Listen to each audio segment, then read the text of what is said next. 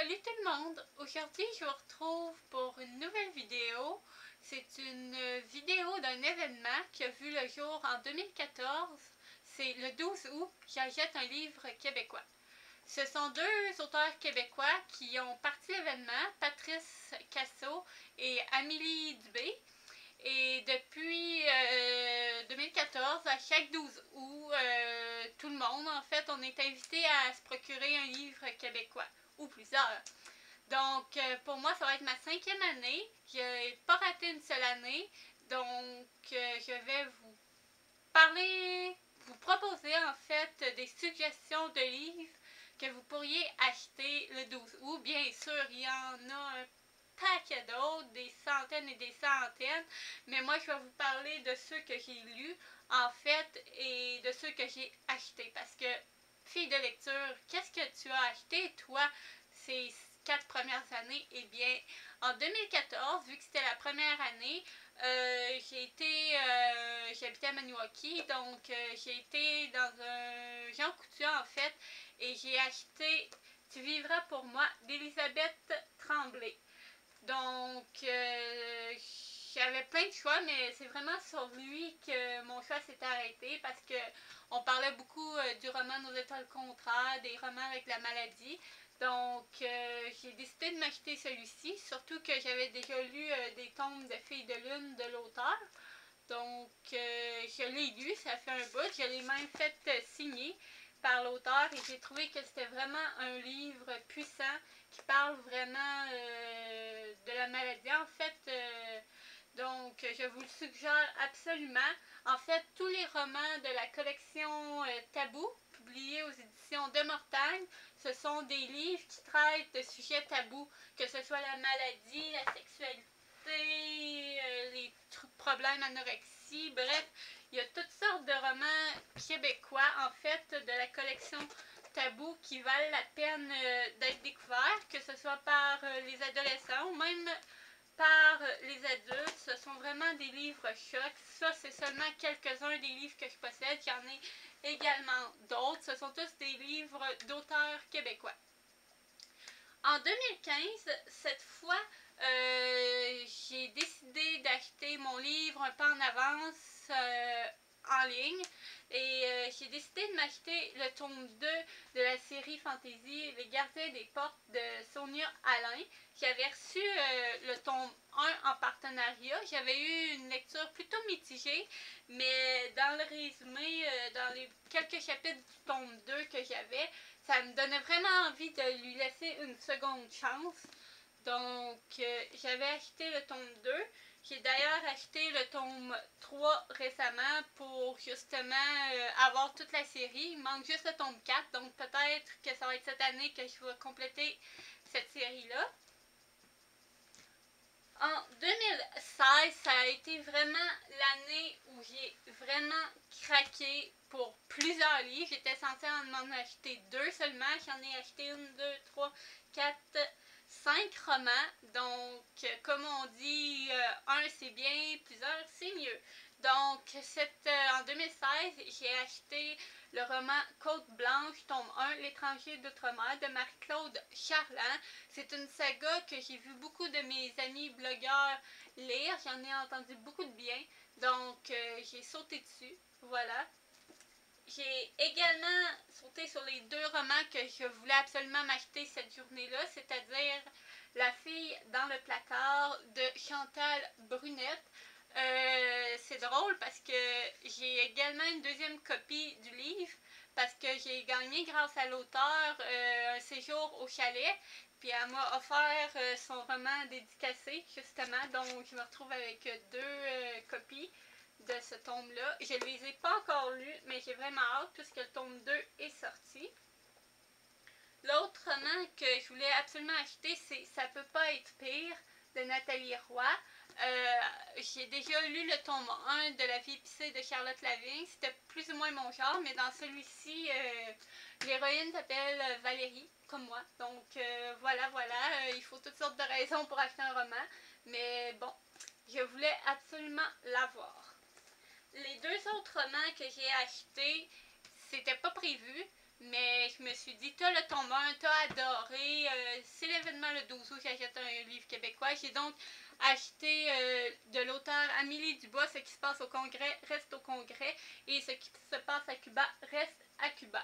Euh, le premier livre étant Ce qui se passe au Mexique reste au Mexique. C'est vraiment des romans, comment je pourrais dire ça, drôles.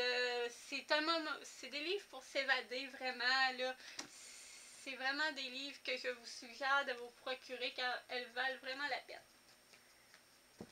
Et finalement, l'année dernière, en 2017, j'avais oublié que j'avais participé, mais en regardant mes photos, j'avais bel et bien acheté un livre québécois l'année passée. En 2017, j'avais craqué pour Quelque part entre toi et moi de Annie, de Annie Quintin. Donc, j'ai vu que des avis positifs. Euh, ça a l'air d'une histoire poignante et je suis sûre, je ne l'ai pas encore lu, mais je suis sûre que ça vaut la peine parce que je l'ai acheté, voilà, et que j'ai vu que d'autres euh, lecteurs avaient l'intention de l'acheter cette année encore. Donc euh, voilà pour mes achats du 12 août, j'achète un livre québécois. Cette année, on va se retrouver sur ma page pour voir ce que je vais avoir acheté. Mais maintenant, j'ai envie de vous présenter des livres que j'ai lus et qui valent vraiment la peine d'être achetés, d'être découverts. Donc, sans plus tarder, je vais commencer par ma lecture en cours. Je l'ai presque fini. Il s'agit du livre Lune sacrée de Chantal D'Amour. C'est un livre que je lis euh, avec le groupe Québec Livresque. Euh, c'est un livre voyageur, c'est-à-dire que c'est l'auteur qui l'a envoyé et euh, on se l'envoie tous un à l'autre pour le découvrir. Donc, c'est un roman fantasy. C'est vraiment, vraiment une bonne lecture. Au début, j'étais pas trop certaine. C'était un peu dur à comprendre, mais en poursuivant sa lecture, on découvre vraiment des univers parallèles vraiment extra, des personnages attachants, rigolos. Bref, j'ai vraiment aimé ma lecture. Il me reste moins de la moitié du livre à lire. Mais c'est vraiment quelque chose, un roman que je vous suggère absolument d'acheter et de découvrir. Ensuite, l'autre livre que je vous suggère de vous procurer, euh, c'est un recueil euh, de nouvelles, Plume en liberté, euh, des artisans littéraires de l'Outaouais. C'est un roman uniquement, en fait, un roman, un recueil de nouvelles juste écrit par des auteurs, des auteurs de l'Outaouais, ma région. Donc, je ne l'ai pas encore lu, mais il y a plusieurs nouvelles là-dedans. Ça vaut la peine pour en découvrir plusieurs. J'ai une amie qui a été publiée et que je veux découvrir ses, ces nouvelles, justement. Donc, si vous voulez l'acheter, je peux vous donner euh, le lien euh, vers qui écrire pour vous le procurer. Donc, voilà, celui-ci, c'est un excellent livre pour le 12 août. J'ai également une auteure que j'adore, en fait, l'auteur Marie-Chantal Plante, l'auteur des Elliott Chasseurs d'ombre, que je vous ai déjà présenté, mais que je vous remonte. C'est plus pour les jeunes, je dirais, là, 8-10 ans, mais vous pouvez quand même l'acheter pour vos enfants, vos petits-enfants, votre neveu, nièce, ça vaut vraiment la peine parce que l'auteur aborde vraiment euh, à inventer un monde complètement accessible, je pense, à tous, avec des personnages ultra attachants. Mais celle que je voulais vraiment vous suggérer, c'est sa nouveauté, Estetica, ton un si beau monde. C'est une dystopie en fait euh, où euh, la société, l'apparence est devenue une obsession. Donc c'est séparé en castes, euh, les meilleurs étant, ce long là, étant la platine, l'or, l'argent, le bronze. Les exclus aussi, et euh, tous les personnages ont des noms de dieux, de déesses ou de personnalités célèbres. Bref, euh, c'est vraiment, vraiment là un livre que je vous suggère d'acheter parce que vous allez voir euh, plongé dans un monde complètement à l'opposé d'une autre, mais qui est vraiment très très difficile de quitter les personnages puisque certains sont vraiment attachants, d'autres détestables. Je ne vous en dis pas plus, procurez-vous le. Ensuite, d'autres romans que vous avez sans doute entendu parler. Ça fait fureur. Ils sont sortis euh, en septembre 2017. C'est euh, Les contes étaient interdits, publiés chez les éditions Ada. C'est plusieurs auteurs québécois qui, qui réécrivent euh, des contes des frères Grimm, mais en version horreur. Ça donne vraiment un résultat bluffant. Bref, il y en a sept de sortie pour l'instant. Moi, j'en possède quatre. Je vais très certainement, probablement acheter les trois cette année. Mais de ceux que j'ai lus, en premier, j'ai commencé par Les Trois Petits Cochons de Christian Boivin. Il a vraiment mis la barre très très haute parce que son roman était captivant, fou, délirant, surtout la fin. Bref, euh, vous verrez que ce conte des trois petits cochons, euh, c'est loin d'être celui qu'on connaît. Ensuite, le deuxième que j'ai découvert, c'est Blanche-Neige de L.P. Sicard. Euh, c'est un. Celui-ci est différent du premier, puisque l'ambiance est très très sombre. En fait, on a l'impression d'être oppressé. On est dans la tête d'Émilie euh, et euh, c'est pas évident de savoir si ce qu'elle voit est vrai ou faux. Je vous en dis pas plus, mais c'est vraiment quelque chose à lire. Il faut être préparé à entrer dans avec le style aussi de l'auteur assez poétique, c'est quelque chose. Les deux autres romans que j'ai, je n'ai pas encore lu, mais que je vais lire, c'est Peter Pan de Simon Rousseau et Ansel et Gretel de Yvan Godbout. Euh, sur ça, je vais vous faire une petite aparté parce que je sais que ce livre a eu beaucoup de parlage médiatique à cause d'une personne qui avait porté plainte comme quoi que c'était trop affreux, blablabla, blablabla. Bref, ce roman-là, c'est un roman. Donc, c'est pas vrai qu'est-ce qui se passe là-dedans? En fait, euh, oui, il y a des scènes de viol, il y a des scènes, euh, comment je pourrais dire, où ce que des enfants se font agresser, des scènes de pédophilie. Donc, euh, non, l'auteur ne prône absolument pas du tout ça. C'est juste un roman. Mettez-vous bien ça dans la tête. Si les sujets, en fait, vous dérangent trop, ben lisez-les pas. C'est simple.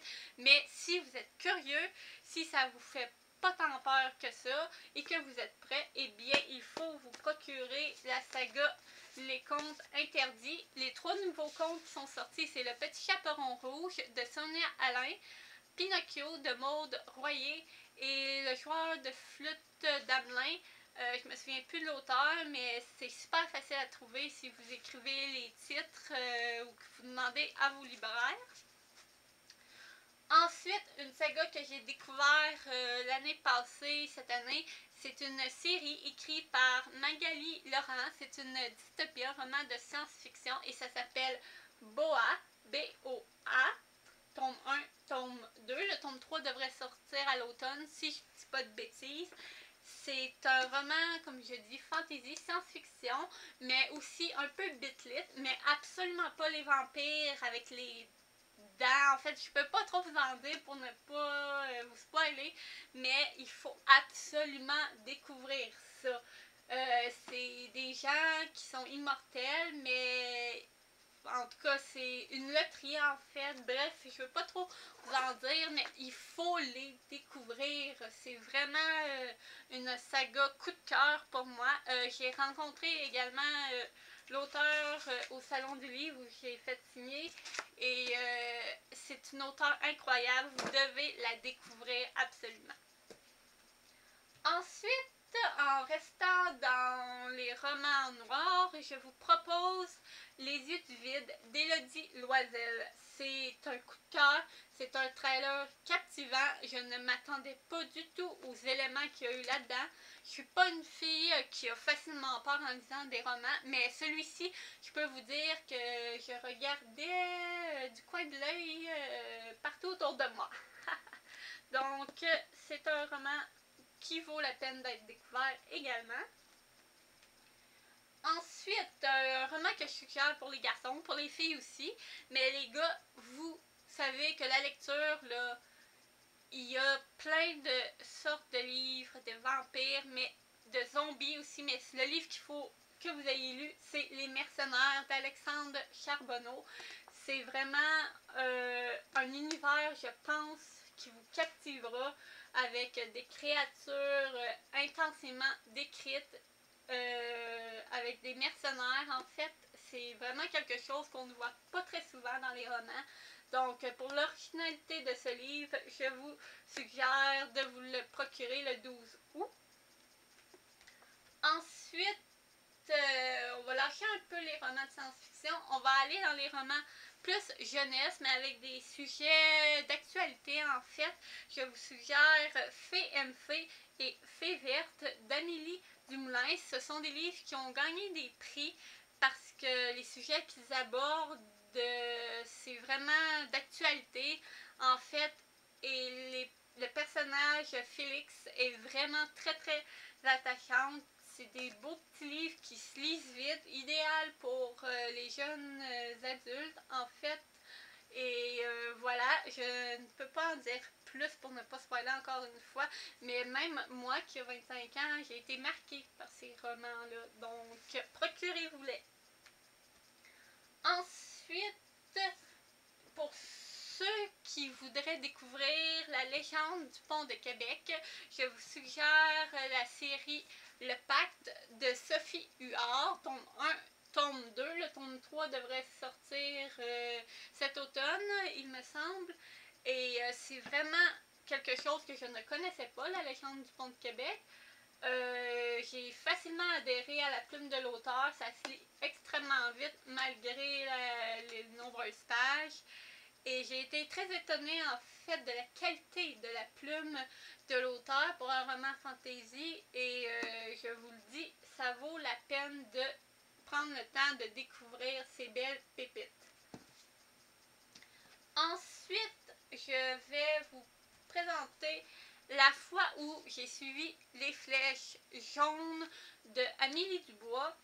Euh, au début, j'étais pas trop certaine en fait c'est plus un voyage d'introspection de soi que l'auteur fait vivre à son personnage sur la route de, la Compostelle. Je ne connaissais absolument pas avant de le découvrir dans ce livre, mais moi aussi, j'ai eu envie de le découvrir, euh, de faire ce cheminement que l'héroïne fait. C'est vraiment un bon livre, je crois, euh, à découvrir.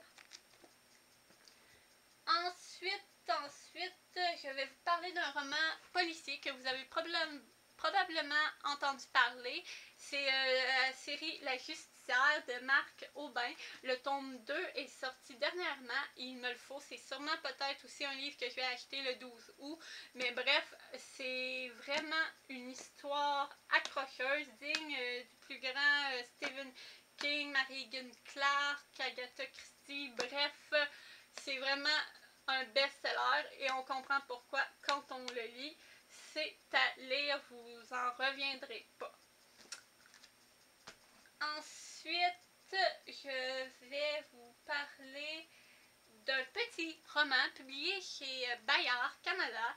Il s'agit de Chroniques post-apocalyptiques d'une enfant-sage de Annie Bacon.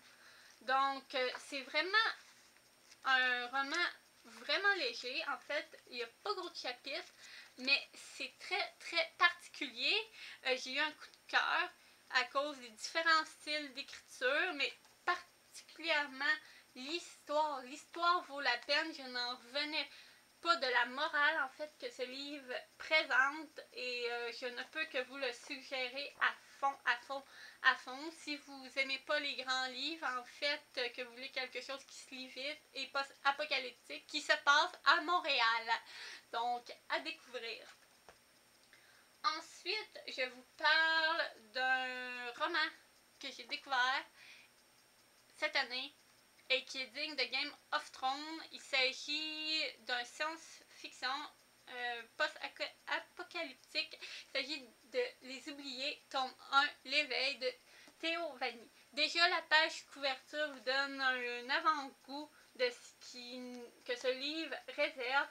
Bref, c'est une histoire avec beaucoup, beaucoup de personnages, mais aucun souci pour pouvoir les identifier. L'auteur a pensé à tout en fait en nous en présentant une grille des personnages avec un peu de leur caractère, caractéristique. Il n'y a pas de description à rallonge, c'est vraiment là que vous allez commencer et finir. J'ai déjà fini mon roman? Où est la suite? Bref, je vous le conseille. Ensuite, il faut évidemment que je vous parle de certains romans de Patrick Sénécal que j'ai lus euh, ces deux dernières années, dont sa nouveauté Il y aura des morts, qui est vraiment un plongeon dans Drummondville. J'ai jamais été dans Drummondville, mais je pense qu'avec ce livre, je pourrais absolument tout dire, ou en fait de ce que je me rappelle. Bref, je suis estomaquée de voir que notre écrivain d'horreur préféré, digne de King, euh, va encore plus loin, en fait, de ce qu'on attend de lui et qui nous étonne toujours par ses histoires euh, horrifiantes. Bref, euh, j'adore aussi, il fait des liens avec d'autres de ses romans, comme par ici, L.com, si je ne me trompe pas. Donc, je vous le suggère absolument si vous êtes fan de l'auteur ou si vous voulez le découvrir. Ou l'autre reflet également, celui-ci, je pense que les lecteurs, ceux qui aiment vraiment lire, euh, voudront lire, puisque certaines choses se passent dans un salon du livre avec des auteurs. Justement, c'est vraiment euh, quelque chose euh, qui vous, étonnera. Bref, j'en perds mes mots tellement qu'il m'a marqué ce livre. Donc, je vous invite à vous le procurer si vous n'avez pas d'idée pour le 12 août et que vous ne l'avez pas encore. Ensuite, je vais y aller avec deux courts romans faits tout pour plaire et la première fois de Marie Pickens. C'est une sexologue qui a écrit ce roman. Donc, euh, vous vous douterez que ça va parler de la sexualité. En fait, euh, moi, je suis pour que les cours d'éducation sexuelle reviennent à l'école parce que de nos jours, les jeunes, c'est le free for all. Tout le monde font n'importe quoi, n'importe comment. Ils pensent ci, pensent ça, c'est pas vrai. Bref, euh, ça vaut la peine de prendre le temps de découvrir les conseils qu'elle propose, les pistes qu'elle donne. C'est des livres qui devraient vraiment servir d'outils d'apprentissage dans les écoles et euh, pour ça, il faut que le plus de monde le découvre en fait euh, et en parle avec leurs enfants même. Donc, je vous le suggère, les suggère absolument. Et finalement, je pourrais vous en dire tout plein d'autres. Je vais terminer avec une auteure chouchou, une auteure de dark romance. Euh, vous avez probablement vu ces livres. Si vous les avez pas vus, où est-ce que vous étiez ces dernières années? C'est une série qui fait fureur euh, autant sur Wattpad que sur la toile, que dans la vraie vie. Bref, je veux évidemment parler de la fameuse série Les Summerjam de Cynthia Avendine, tome 1, tome 2 et tome 3. Euh, ces personnages de cette série, c'est trois frères complètement psychopathes. Et euh, psychopathes, ils le sont. Euh, c'est pas les fameux petits bad boys, oh, je fais ci, je fais ça, puis qui craquent pour l'héroïne. C'est vraiment des psychopathes pathologiques, mentaux. En tout cas, c'est vraiment quelque chose de spécial. Vous devez vous les procurer pour comprendre ce que je veux parler. Euh, l'auteur a également deux autres livres de sortie. Isaac Cole, qui est un drame, et Kurt Secret. Lui, je ne l'ai pas encore lu. Isaac Cole, je vous le suggère également. La fin est d'une tristesse infinie. Bref, il faut que vous découvriez cette auteure. Elle est fabuleuse. Alors, j'espère que cette vidéo vous aura plu que vous avez eu en masse de suggestions, que vous avez une petite idée euh, sur dans quoi vous voulez vous lancer euh, le 12 août. N'hésitez pas à venir euh, vous inscrire, en fait pas vous inscrire, mais dire je participe à l'événement sur Facebook le 12 août. J'achète un livre québécois. C'est organisé par Patrice Casso, le groupe. Donc, euh, venez nombreux nous rejoindre puisque le 12 août, nous allons pouvoir en fait présenter nos achats en photo, en selfie. Bref, montrer, partager qu'est-ce que vous avez acheté, montrer que la littérature québécoise euh, est là, que nous encourageons nos auteurs, que nous achetons et que nous sommes présents en fait et que nous aimons notre littérature et que nous allons en acheter toujours puisque le 12 août c'est un jour pour ça, mais on peut les acheter n'importe quand, les livres québécois, tout au long de l'année. Il faut pas un jour exprès pour dire Oh, j'achète québécois, fini. Non, non, achetez-en quand vous le pouvez ou quand vous le voulez. C'est toujours extraordinaire pour un auteur de voir ses lecteurs acheter ses livres. Sur ce, je vous laisse. J'espère que cette vidéo vous aura plu et je vous dis à bientôt.